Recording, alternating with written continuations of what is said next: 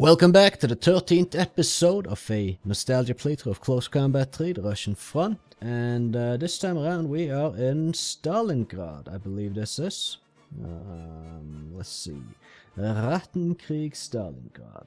The fight for Stalin City. Uh, the direct translation would be Rat War Stalingrad, but uh, whatever. So let's see if we can get any interesting tanks. Uh, not really, I don't really want that captured T-34, but on a later we can get the Panzer IV F2 if we sacrifice a lot to be able to afford it. Uh, we would need another 66 points. How could we get that? I don't think it's in the, it's in the cards for us. What we can do instead is maybe upgrade a half-wits to um, yeah, shock troops. Why not? Get some shock troops in here and see what we can do with the Mongoloids. Nothing, but we can maybe get another uh, Mongoloid squad. Uh, I'm sorry, I mean a Schutzen squad. You know what, it's it's getting old. Poor guys, we can't keep calling them that. We're gonna rename them. We're gonna call this First Heavy Inf, or First H-Inf, short for Heavy Infantry. And it's gonna be First L-Inf for first light infantry and second L-Inf for second light infantry and we rename the command tank to Panzer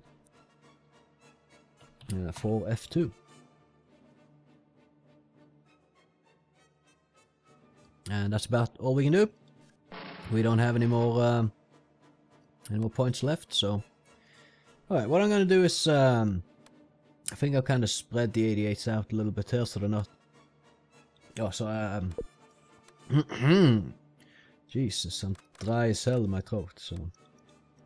That's lovely. Uh, yeah, either way, uh, this way they won't be too susceptible to enemy mortar fire. And I just want them to kind of cover the open ground. And we'll have other tanks, other places to do other things. Like we now the Panzer 4 F2s on like the middle area here. Well, we could have a Panzer 4 here, as I have a little bit of a plan in the area. Uh, we'll have the heavy infantry, yeah, just be there, on the defend. We'll put uh, second light infantry in here, on the defend as well, and then first light infantry on the, infantry on the top here, as we will hopefully rush across and uh, see what we can do at some point. Maybe put the Panzer 4 F2 here as well. Try to work together with these, uh, so they don't kind of... You know, two guns are better than one, basically. That's uh, what I'm trying to get at. Put the machine gun team in a four-story building here, so they have good reach on uh, pretty much the entire map, basically. And that's all we can do. Let's start. Ah, okay. It starts off with an artillery attack. Or barrage.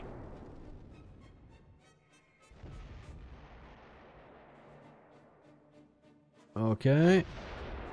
That's a T-34 for sure.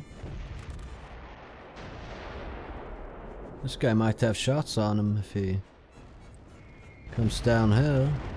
Oh, looks like we might actually have some shots on him indeed. Is that another T-34 though?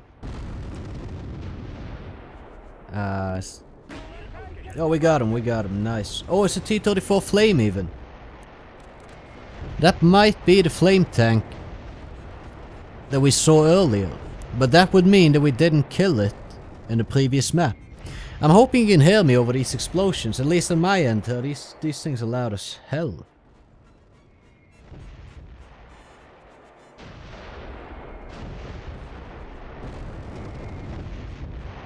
And uh, apparently they are gonna keep going on for at least another half a minute.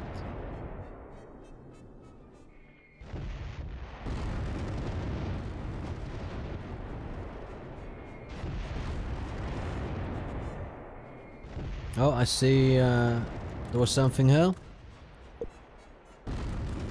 Some infantry there, okay.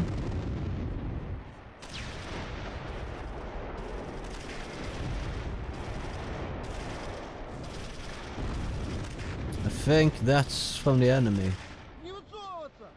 Yeah, we got incoming mortars, uh, but it's good. Let them waste the mortars. I'm fine with that. Man, is this artillery barrage gonna ever stop?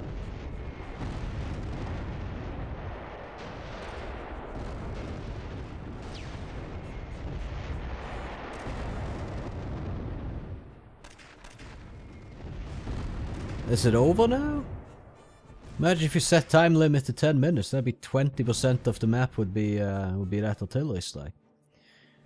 But yeah, okay, they're throwing uh, mortars at these guys that are inside a building, which usually is very ineffective.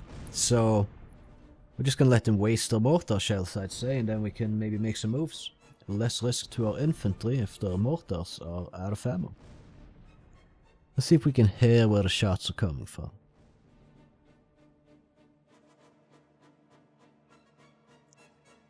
Apologies if uh, there's a loud humming sound right now. One of my neighbors are doing something uh, that he typically likes to do, which is being uh, noisy as hell and spreading that noise into the entire neighborhood. You know, just like a, a good neighbor should be doing. Uh, either way, uh, we're gonna just move in here a little bit with our tanks and hope we don't run into too much dangerous stuff to take them out. I kind of want to catch this infantry in the open here and just kind of mow them down with my tanks if I can. That's not a T-34 though. Can we... Maybe. I feel like these Panzer IVs will be able to handle the, the T-34s. The 4D not so much, but the 4 F2s certainly should be able to. So we're just advancing in. Oh, he hit something? Ah, the group leader team took a casualty for sure. Okay, that's T-34. Uh, who has shots on that? No one at the moment. Okay, that's fine. Yeah, just kind of cross the bridge together. I have the Panzer 4D coming in behind, and we will we will just keep pushing. Uh, not so much with the infantry, because I'd rather not take casualties on my infantry if I can help it. If that me trying to be careful with the uh, infantry is going to lead to me taking casualties with the uh, tanks, though, then that's going to be a little bit more uh, crummy. Nothing expect. Oh. Oh shit, the Panzer 4D took out half the T-34 crew. Oh, it's a flame tank. They have two flame tanks? That's a lot of requisition points right there. And I think the range of the flame tanks are like 60 meters. Yeah, there goes the command team. Uh, can you get up? I said, hmm, struggling a little bit with the terrain here it seems. Yeah, the thing is, uh, I need to keep outside of the range of that flame tank. It could just kind of shoot forward. I'll be like uh, getting up here and I'll, I'll have shots on it and it will be just outside its uh, flamethrower range. So, yeah. Yeah, we got like 10 meters to spare. Plus half the T-34 crew is dead, so... I can't really go any closer to it. It's not gonna be good for me. Oh, he's angling his tank. That makes it harder to go through. Um, SP. I'm wondering if that is steel penetration shells. Um, oh, there's a, there's a name. Steel... Panzergranate? I don't know. It uh, does this um, somewhat iconic German uh, tank ammunition. Uh, has like it had it was like a steel penetrating thing. Uh, I'll just move this guy over here. We'll move in with the Panzer 4 F2s.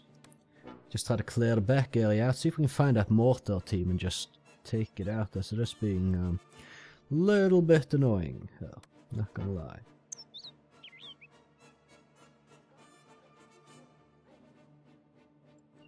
Well, I mean, it, it isn't really. It's not really doing anything. Uh, but I Look at that. Look at that. They lost patience. Okay, we're just gonna have to switch them to ambush and then defend so they don't lose patience and start moving in stupidly. What is this? It's First Light Infantry. It's the Mongoloids. It's the Mongoloids. They're still... You give them a new name.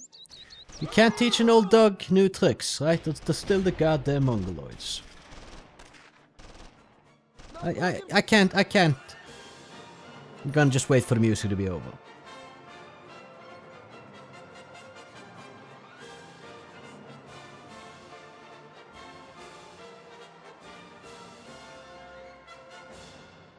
Woo!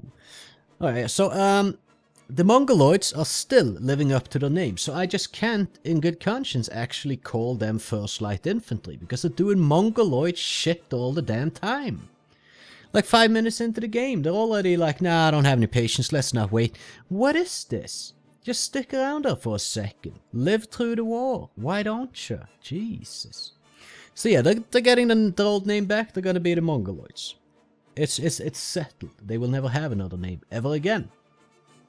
They will not be first or second or anything. In, it will be the Mongoloids. But either way, uh, good start here. We capture the flame tank. We destroy the flame tank. There's a lot of requisition points just poof, gone. Took three prisoners. I'm hoping that that is the uh, enemy mortar team and that they, does, uh, that they don't get a new one. Wounded 5, killed 4. I guess mainly tank crews. And, uh, well, that that's it. So I hope you enjoyed the episode. If you did, I'd appreciate if you would leave a like on the video, maybe even subscribe for future content if you haven't already. Of course, no pressure. You can anyway, either way, catch me in the next episode. So, have a good one.